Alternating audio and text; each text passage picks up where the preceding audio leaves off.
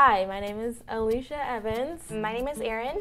Hey everyone, I'm Alan. Hi, I'm Claire. I first got connected to young adults. It took a while because I was one of, I was the type of person to just be in and out every Sundays, in and out, listen to the message, worship, yes, great, out, gone. And Ben preached a sermon on the front end pain and the back end pain. So the front end pain is when you have to show up to group and it's just real awkward because you don't know anyone and you don't know where the snacks are or you don't know where the bathroom is and just all these like it's just awkward. But then the back end pain is that you didn't do that. And so when something goes really wrong, you don't have anyone to reach out to. You don't have um, friendships or community that you can lean on during those times. I'm like, okay, I should, I listened. I was like, I, I'll do it. I'll do it. And it just really, really hit me of like, that's what I'm gonna have to do. And I'm gonna have to like just stick out through that front end pain because that's gonna go away. So since a lot of people in San Francisco um, don't have family here, people kind of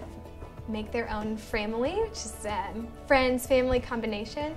Um, I have an awesome family who um, host each other over for dinner, we do live together, um, and even beyond that, there's just different friend groups that we have, um, and it's really cool just to see how everyone here has made their own family with each other. All of my family is still back on the East Coast in New Jersey, and so I think having people to share the ups and downs and uh, the victories and the hardships of life is really helpful and important. I had a lot of anxiety just being in front of people and talking in front of people, and the idea of being dunked in water in front of a whole bunch of people was not thrilling for me. So it took me a while to actually go for um, baptism. I end up telling um, people at the young adults, even people I didn't know in the women's group came up to me like, Alicia, thank you for sharing. You should definitely do it.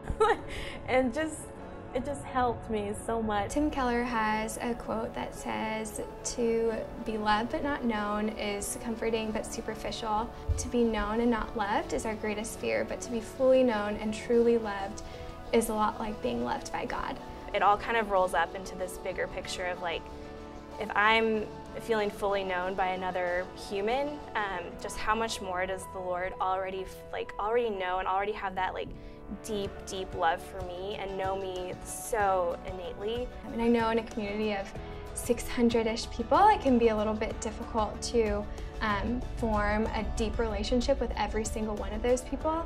Um, but joining groups gives you the opportunity to build those deeper relationships. If you're looking for people to pray for you, if you're looking for um, people to connect with, if you're looking for people to cheer you on while you're trying to go through school or find a job or find a place to stay. People who are willing to ask the hard questions and who I can ask the hard questions to also. If you're looking for food and community and uh, you know people who are genuine and kind and awesome, uh, Epic Young Adults is your place.